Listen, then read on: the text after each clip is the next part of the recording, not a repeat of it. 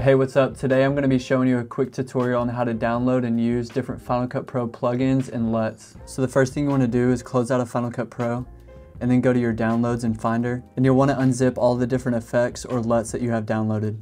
And now that you have your plugins downloaded, you'll go to the movies tab over on the side and you'll want to go to motion templates. If you don't have the motion templates folder, you're going to have to create one.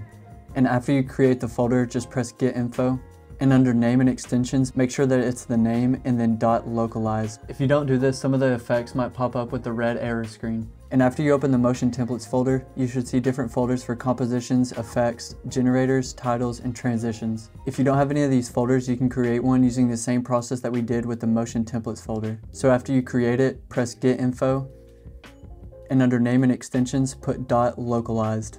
And now all you have to do is drag your plugin into the corresponding folder. So this one, for example, is an effect. So I'm gonna go into my effects. I have an Eliante Edits Effects tab. So I'll just drag that Steeze Film Glow straight into the folder, and that's all I have to do. And next, if it's a generators plugin, you can just drag it straight into your generators folder.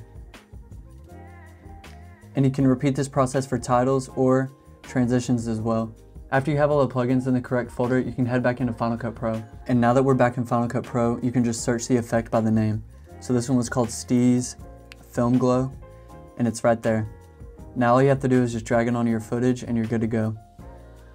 And now for the generator plugin I downloaded, you go to the titles and generator icons. And once you're down to the generators, you should see it on the side down here. Like I said earlier, the same thing goes with all your title plugins and all your transition plugins, which can be found in this icon down here.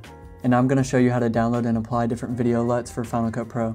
So I have my S-Log3 Creative LUTs and I'm just going to drag those to my desktop or whatever folder I want to have it in. Next you'll open up Final Cut Pro and under the Effects tab, you'll search Custom LUT.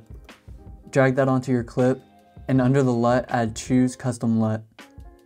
This will then prompt you to choose whatever LUT files or folder you downloaded. After you choose your folder, just select Open. And now when you select the LUT, it should be on the side right here, so you can just choose whatever one fits your footage the best.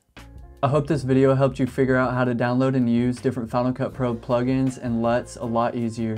You can check out all my Final Cut Pro LUTs and plugins at steezestudios.com or just click the link in the description. Thanks for watching and remember, dream, create, inspire.